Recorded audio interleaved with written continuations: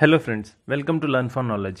आज मैं आप लोग को ये जो मैं ग्रुप में इकोनॉमिक्स का एग्ज़ाम का पीडीएफ सेंड किया तो उसका ही मैं अभी आप लोग को सोल्यूशन में बताऊँगा। एंड फ्रेंड्स जो लोग मेरे ग्रुप के अभी मेंबर्स नहीं है, वो लोग ये वीडियो देख रहे हैं तो वो आप लोग ग्रुप में ऐड हो सकते हैं। मैंने अपना नंबर यहाँ पर नीचे दिया हुआ है, उसमें आप लोग जस्ट मेरे को मैसेज कर दीजिए, अपना नाम लिख दीजिए, मैं आप लोग को ऐड कर दूँगा। एंड जो नहीं होना चाहते, उसमें कोई प्रॉब्लम नहीं है, आप लोग ये वाला क्वेश्चन पेपर आप लोग को डिस्क्रिप्शन में आप लोग को पीडीएफ में मिल जाएगा, वहाँ से आप लोग डाउनलोड कर सकते हैं। तो चलिए फ्रेंड्स इसका सॉल्यूशन मैं आप लोग को एक्सप्लेन कर दे रहा हूँ। एंड क्वेश्चन आपका टोटल फिफ्टी क्वेश्चन था। इसमें मैंने आप लोग को थर्टी मिनट्स दिया था। रात के नौ बजे आप लोग का क्वेश्चन स्टार्ट हुआ था। एंड नाइन थर्टी में आप लोग का सोल्यूशन आप लोग को मैं अपलोड कर दिया। तो यही है आप लोग का क्वेश्चन पेपर जो है आप लोग का ये डब्ल्यू एंड फ़ूड एंड उसका क्लैरिकल जितना भी है आप लोग का, सब एग्ज़ाम पॉइंट ऑफ़ व्यू से बहुत ही इंपॉर्टेंट है ये इकोनॉमिक्स का क्वेश्चन मैंने ट्राई किया है आप लोग का पूरा कंपाइलेशन एक पूरा इकोनॉमिक्स को पकड़ने का. तो सोल्यूशन में आते हैं फ्रेंड्स तो चलिए पहला question who is the father of economics in father of economics किसको बोलते हैं? अब यहाँ पे बहुत लोग चाणक्य मार देंगे। चाणक्य नहीं है फ्रेंड्स फादर ऑफ़ इकोनॉमिक्स अगर सिर्फ़ आए तो वो आप लोग का एडम स्मिथ होगा ऑप्शन बी बट यहाँ पे इंडियन इकोनॉमिक्स के फादर कौन है? वो चाणक्य है। And Dadabhai Naoroji Indian modern economics के फादर है। And P V P V Narasimha Rao जो है, वो आपके इंडियन इकोनॉमिक्स रिफॉर्म्स के वो फादर है। तो यहाँ पे correct answer option B Adam Smith next है आप लोग का second question Indian economics is Indian economics कैसे टाइप का इकोनॉमिक्स है? ये सोशलिस्ट होता है जो गवर्नमेंट पूरा चलाता है इकोनॉमी कैपिटलिस्ट होता है जो पूरा प्राइवेट चलाता है। सोशलिस्ट में एग्ज़ाम्पल रशिया देन कैपिटलिस्ट जो पूरा प्राइवेट चलाता है जैसे यूएसए यूएसए में पुलिस भी ए, सरकारी नहीं होता वो लोग टाइम पीरियड के लिए होते हैं प्राइवेट चलाता है। एंड मिक्सड होता है आप लोग का गवर्नमेंट एंड प्राइवेट दोनों दोनों को मिक्स करके चल जो चलता है। तो इंडियन इकोनॉमिक्स हम लोग का मिक्सड इकोनॉमिक्स है। तो इसका करेक्ट आंसर है सी सेकेंड का option C is correct answer then third which one of the following is the task of planning commission planning commission का काम क्या है? प्लानिंग कमीशन का काम जस्ट प्लान प्लान को प्रिपेयर करना है. फाइव ईयर्स प्लान को. फाइव ईयर प्लान तो अभी नीति आयोग में कन्वर्ट हो गया तो फिर भी फाइव ईयर प्लान को जस्ट प्लान करना है. इसको इम्प्लीमेंटेशन कौन करता है? एनडीसी करता है नेशनल डेवलपमेंट काउंसिल करता है एंड उसको फिनेंसिंग गवर्नमेंट करता है टैक्सेशन से जितना भी है. तो इसका करेक्ट आंसर है थर्ड का है A then fourth question which one of the following is true about planning commission planning commission के बारे में इन चार ऑप्शन में से कौन सा करेक्ट है? फ्रेंड्स यहाँ पे बहुत लोगों का कन्फ्यूज़न रहता है। ऑटोनोमस भी तो है एडवाइजरी भी तो है। देन नॉन स्टेटरी अगर दे दिया, वो भी तो करेक्ट होगा। तो फ्रेंड्स क्या है? यहाँ पे आप लोगों का चारों ऑप्शन दिया रहेगा। तो प्लानिंग कमीशन हम लोग का एक्स्ट्रा कॉन्स्टिट्यूशनल है, क्योंकि वो हमारे कॉन्स्टिट्यूशन में बताया नहीं गया है। And planning commission non statutory है। उसको पास करने के लिए कोई लॉ को लॉ वो हम लोग को बनाने का ज़रूरत नहीं पड़ा। एंड प्लानिंग कमीशन आप लोग का एडवाइजरी है। ये जस्ट एडवाइस देता है। हम लोग को इम्प्लीमेंट करना है या नहीं करना है, वो फाइनल डिसीज़न एनडीसी के पास रहता है। तो planning commission is a advisory body अब यहाँ पे फ्रेंड्स बहुत लोग बोल दोगे ऑटोनोमस भी तो है। ऑटोनोमस अगर फ्रेंड्स अगर क्वेश्चन में, अगर आप लोग का ऑप्शन में नॉन स्टेटरी रहता है तो वो पहले टिक मारना। एडवाइजरी पहले टिक नहीं मारना। यहाँ पे आप लोग का लेवल्स ऑफ़ करेक्टनेस भी देखते हैं। तो नॉन स्टेटरी पहले अगर रहेगा तो उसको टिक मानना, फिर उसके बाद एडवाइजरी रहेगा तो उसको टिक मानना, और एडवाइजरी भी नहीं रहेगा तो ऑटोमस ऑटोनोमस रहेगा, उसको टिक मानना। तो ऑटोनोमस होगा आप लोग का जो कन्फर्म नहीं है तो उसे बोलते हैं ऑटोनोमस तो यहाँ पे करेक्ट आंसर है आपका एडवाइजरी ऑप्शन सी अगर आप लोग को क्वेश्चन में आंसर में कन्फ्यूज़न हो रहा है तो व्हाट्सएप में मेरे से कोई क्वेश्चन डिस्कस कर सकते हैं, मैं आप लोग का एक्सप्लेन करके अच्छी तरह से बता दूँगा। देन नेक्स्ट क्वेश्चन है आप लोग का question number fifth economic survey is published by, economic survey कौन पब्लिश करता है? ये यूनियन बजट जो पास होता है, उसके जस्ट एक दिन पहले ही हम लोग का इकोनॉमिक सर्वे पास किया जाता है। ये मिनिस्ट्री ऑफ़ फिनेंस पास करता है। तो इसका करेक्ट आंसर है option A, ministry of finance then question number six major percentage of working population of India is engage in सबसे ज़्यादा पॉपुलेशन जो काम करता है, वो कौन से है? वो प्राइमरी सेक्टर से है। फॉर एग्जांपल एग्रीकल्चर जो है, वही हम लोग का प्राइमरी सेक्टर है। तो प्राइमरी सेक्टर में हम लोग सबसे ज़्यादा वर्किंग करते हैं बट उसी सेक्टर से हम लोग को सबसे कम जीडीपी आता है। इसको ही उल्टा देख लीजिए टर्सरी सेक्टर से सबसे ज़्यादा जीडीपी आता है, और उसी सेक्टर में सबसे ज़्यादा सबसे कम एम्प्लॉय होते हैं। तो ये है इसका करेक्ट आंसर सिक्स का C primary sector then seventh during which five year plan did price saw a decline price हम लोग का डिक्लाइन किया था, ये हम लोग का फ़र्स्ट फाइव ईयर प्लान में किया था एंड यही हम लोग का only plan in which prices fell हुआ था। सेवन्थ का है answer A then eight what is the correct duration of revise six national development plan मतलब सिक्स प्लान का ड्यूरेशन हम लोग को क्या है? 1980 से 85 है तो option C is correct ninth question plan का ड्यूरेशन हम लोग को क्या है? 1980 से 85 है तो option C is correct ninth question national development council was set up in national development council हम लोग का कब सेटअप हुआ था? ये सिक्स अगस्त 1952 में सेटअप हुआ था। देन ऑप्शन नाइन्थ का है? Option A tenth in India the concept of minimum needs and direction and T pro poverty programme were the innovation of ये कौन से प्लानिंग में बताया गया था? अरे फ्रेंड्स ये जो आप लोग का गरीबी हटाओ है and minimum needs programme N M N P जिसे बोलते हैं, ये सब आप लोग का सब फिफ्थ प्लान में हुआ था। फोर्थ प्लान अगर कोई बोलो तो ये गलत होगा फ्रेंड्स ये फिफ्थ प्लान में होगा। Then eleventh which one of the following is not a dimension of human development index human development index जो महबूल उल हक ने किया था यूएनडीपी जो हम लोग बोलते हैं तो वही है आप लोग का, ये इसमें कौन कौन से चीज़ पकड़ते हैं? तीन चीज़ पकड़ते हैं। अगर शॉर्ट ट्रिक्स में जानना चाहते हो तो लाई झूठ। L I E L for life expectancy I for income and E for education तो यहाँ पे ए एजुकेशन का नॉलेज है लाइफ एक्सपेक्टेंसी है इनकम है आपका स्टैंडर्ड ऑफ़ लिविंग तो करेक्ट आंसर यहाँ पे क्या होगा? आप लोग का सोशल स्टेटस नहीं देखता ह्यूमन डेवलपमेंट इंडेक्स तो इलेवेंथ का है option A correct twelfth question ये the book which is at the centrepiece of the study of macroeconomics was written by macroeconomics किसने लिखा था? मैक्रो इकोनॉमिक्स हमारे J M K John Maynard Keynes ने लिखा था। Father of microeconomics Adam Smith को बोला जाता है। फादर ऑफ़ मैक्रो इकोनॉमिक्स आपका जॉन मेनार्ड केन्स को बोला जाता है। माइक्रो मतलब छोटा इकोनॉमिक्स एंड माइक्रो मतलब बड़ा इकोनॉमिक्स। देन नेक्स्ट है आप लोग का inflation is caused by inflation क्यों होता है फ्रेंड्स चीज़ों के दाम बढ़ जाने से। चीज़ों के दाम कब बढ़ेंगे? जब आपके पास पैसे ज़्यादा आ जाएगा। तो इसका correct answer option C increase in money supply then fourteen open market operation refers to. Open market operation का मतलब क्या है? यह purchase and sale of government securities by the RBI इसका फोर्टीन का correct answer option A fifteen Reserve Bank of India was nationalise in Reserve Bank of India found हुआ था आप लोग का फ़र्स्ट अप्रैल 1935 में। हिल्टन एंड यंग कमीशन के through but ये नेशनलाइज मतलब नेशनलाइज मतलब स्वदेशीकरण जो आप लोग का, हम लोग इंडिपेंडेंस के बाद तो नेशनलाइज हो सकते हैं. तो इंडिपेंडेंस के बाद हम लोग का नेशनलाइज हुआ था Reserve Bank of India first January 1949 में हुआ था नेशनलाइज इसका करेक्ट आंसर है option B then sixteen per capita income obtained by dividing national income by national income से हम लोग टोटल पॉपुलेशन को अगर डिवाइड करेंगे तो हम लोग का पर कैपिटा इनकम मिल जाएगा. तो इसका करेक्ट आंसर है option D total population of country seventeen when did operation Barga passed operation Barga आप लोग को बर्गा दर का जो रजिस्ट्रेशन करना पड़ा था टीन नेट का तो उसको ही हम लोग ऑपरेशन बर्गा बोलते हैं। ये जो हम लोग का वेस्ट बंगाल में 1978 में हुआ था। इसका करेक्ट आंसर आप, आपका option B eighteenth the main difference between GDP gross domestic product and GNP gross national product is इन दोनों का डिफरेंस क्या है? जीडीपी क्या है आप लोग का? जो पूरा प्रोडक्शन इनकम जितना भी हो रहा है आप लोग का देश के अंदर हो रहा है, उसे जीडीपी बोलते हैं एंड जीएनपी देश के अंदर प्लस देश के बाहर जितना भी प्रोडक्शन इनकम जितना भी है,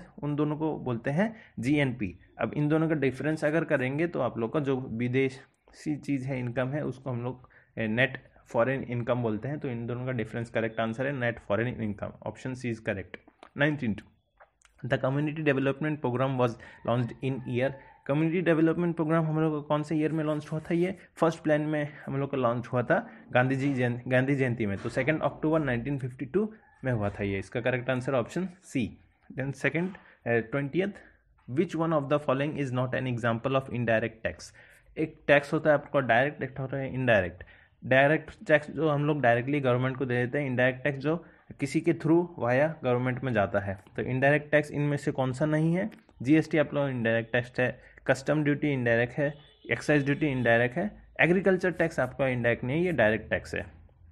नेक्स्ट है ट्वेंटी का correct answer option D twenty one inflation brings most benefit to which one of the following inflation से किसका सबसे ज़्यादा फ़ायदा होता है ये? ऑप्शन डी डेप्टर का सबसे ज़्यादा फ़ायदा होता है। क्योंकि वो जो उधार लेता है, सब डेप्टर बोलते हैं जब पर्सन हु ओन्स मनी माने ऋणी जे होता है, उसको बोलते हैं हम लोग डेप्टर तो option D is correct answer then twenty two way who signature is found in one rupee currency note one rupee note में किसका सिग्नेचर होता है? वन रुपी नोट में आप लोग का फिनेंस सेक्रेटरी का सिग्नेचर होता है। बहुत लोग फिनेंस मिनिस्टर गलती से करके आ जाओगे। फिनेंस मिनिस्टर नहीं होता फ्रेंड्स और गवर्नर का भी नहीं होता। गवर्नर का वन रुपी छोड़ के बाद बाकी जितने भी नोट है, सब में गवर्नर का सिग्नेचर होता है। But only one rupee note में, क्योंकि ये इंडिया का करेंसी का सिंबल है, इसको कभी भी हटाया नहीं जाएगा। जैसे जितने भी पहले से आप लोग के डिमोनिटाइज होते हैं बट वन रुपी नोट आज तक कभी डिमोनिटाइज नहीं हुआ और होगा भी नहीं।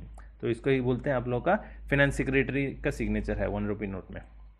देन ट्वेंटी टू का answer A twenty three monetary policy is regulated by monetary policy हम लोग को कौन रेगुलेट करता है? किसी भी देश का सेंट्रल बैंक रेगुलेट करता है। सेंट्रल बैंक ऑफ़ इंडिया मतलब एक वाला बैंक नहीं फ्रेंड्स सेंट्रल बैंक मतलब पूरे देश का एक लौता सेंट्रल बैंक तो वो हम लोग का आरबीआई को हम लोग अपना सेंट्रल बैंक बोलते हैं। तो इसका correct answer option C central bank तो हम लोग का सेंट्रल बैंक कौन है? आरबीआई तो मतलब मॉनिटरी पॉलिसी आरबीआई रेगुलेट करता है।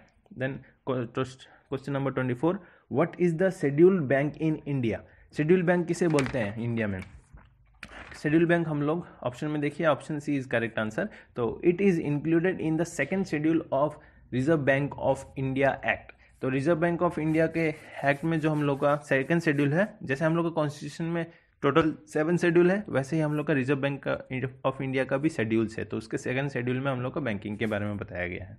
नेक्स्ट आप लोग का शेड्यूल बैंक के बारे में बताया गया। नेक्स्ट है twenty fifth what is repo rate repo rate किसे बोलते हैं? It is the rate at which the R B I lends money to bank मतलब क्या है आप लोग का?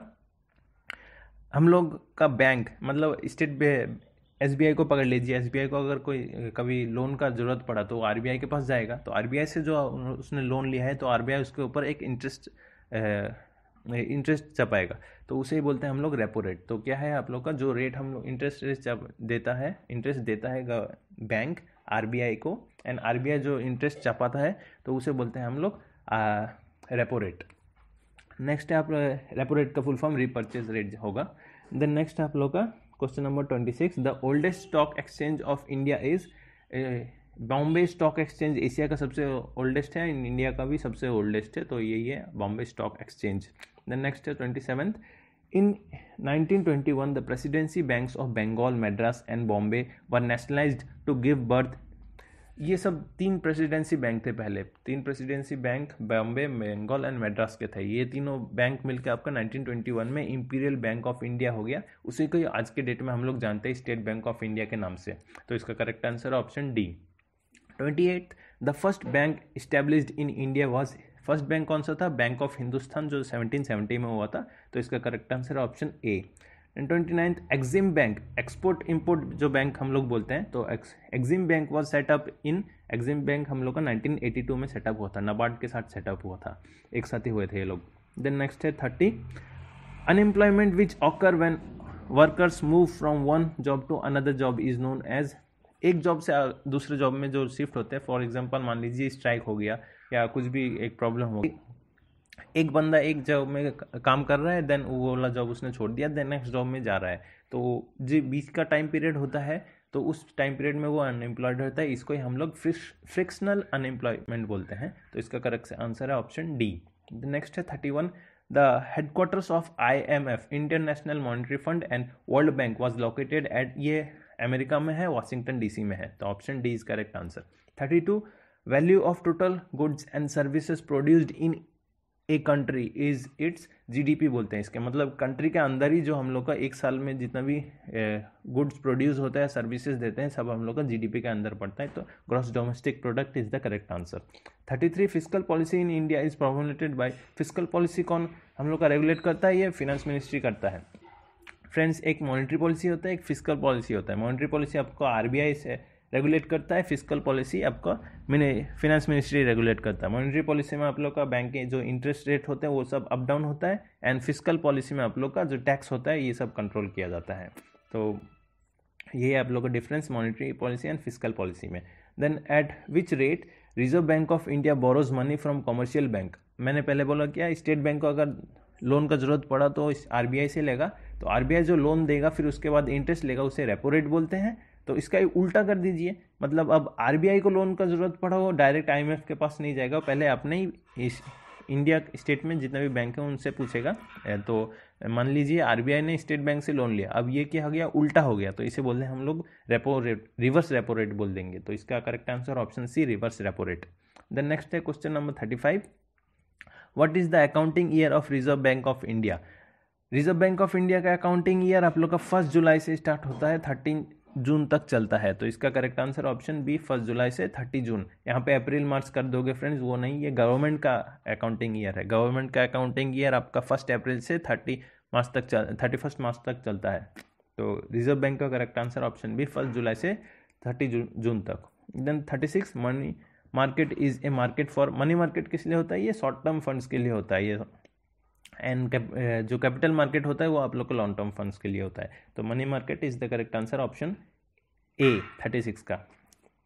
Thirty seven which one of the following controls the insurance business in India insurance business को कौन कंट्रोल करता है? ये I R D A control करता है। आई आर डी ए का फुल फॉर्म होता है friends insurance regulatory and development authority इसका थर्टी सेवन का option D thirty eight which one of the following is not an instrument of physical policy physical policy जो control करता है government, उसका इन चार में से कौन सा नहीं होता इंस्ट्रूमेंट ये ओ एम ओ जो है ओपन मार्केट ऑपरेशन ये आप लोग का आरबीआई कंट्रोल करता है, ये मॉनेटरी पॉलिसी में आता है। तो इसका करेक्ट आंसर है ऑप्शन ए बाद बाकी जितना भी आपका टैक्सेशन पब्लिक बोरोइंग उसका पब्लिक एक्सपेंडिचर सब ये गवर्नमेंट कंट्रोल करता है।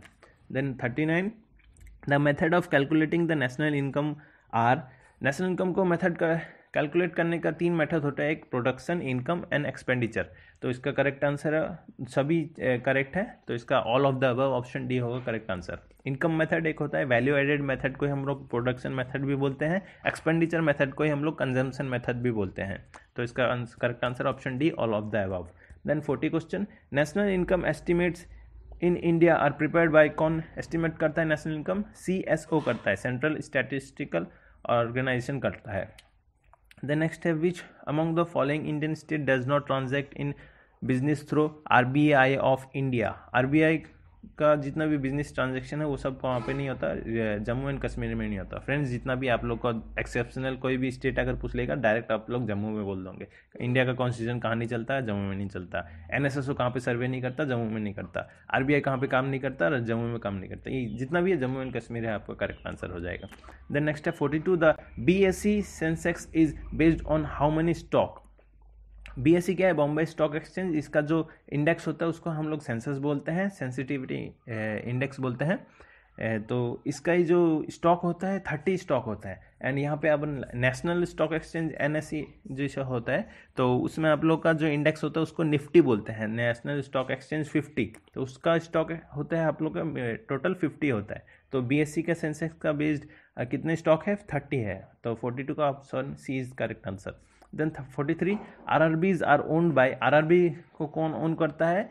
ये central bank and state bank and sponsor bank सब लोग ही ओन करते हैं टोटल मिला के।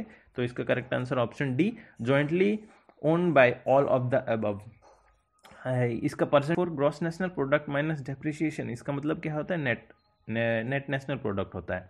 Then 45 NABARD was established in which plan NABARD हम लोग का सिक्स प्लान में एस्टेब्लिश किया गया था। नबार्ड एग्जैक्ट एकदम डेट अगर जानना चाहते हो तो नबार्ड का स्टोरी सुनिए। नबार्ड है, का फुल फॉर्म है नेशनल सॉरी पहले आप लोग नेशनल जो आप लोग का नबार्ड ट्वेल्थ जुलाई 1982 में इस्टेब्लिश हुआ था। रिकमेंडेशन हम लोग का दिया था, ये सिवर कमेटी ने हम लोग का रिकमेंडेशन दिया था नबार्ड को फॉर्म करने के लिए। तो ये है नबार्ड का स्टोरी फ्रेंड्स एंड ये सिक्स प्लान में इस्टेब्लिश हुआ था। देन नेक्स्ट है आप लोग का फुल फॉर्म्स आप लोग का अब फुल फॉर्म जानना है, मैंने ऊपर नवाड का फुल फॉर्म इसलिए नहीं बताया क्योंकि नीचे भी आप लोग का नवाड का फुल फॉर्म है फ्रेंड्स तो फुल फॉर्म आप लोग को मैंने पाँच दिए थे तो पाँच फुल फॉर्म में से आप लोग को पाँचों ही करने हैं। तो सेबी का फुल फॉर्म क्या है? सेबी है security exchange board of India then है मुर्दा। सॉरी फ्रेंड्स ये मुर्दा हो गया मुर्दा नहीं होगा ये मुद्रा होगा। तो मुद्रा का आप लोग का फुल फॉर्म है। Micro units development and refinance agency ये मुद्रा का ये फुल फॉर्म है। नेक्स्ट है नबार्ड नबार्ड का फुल फॉर्म है।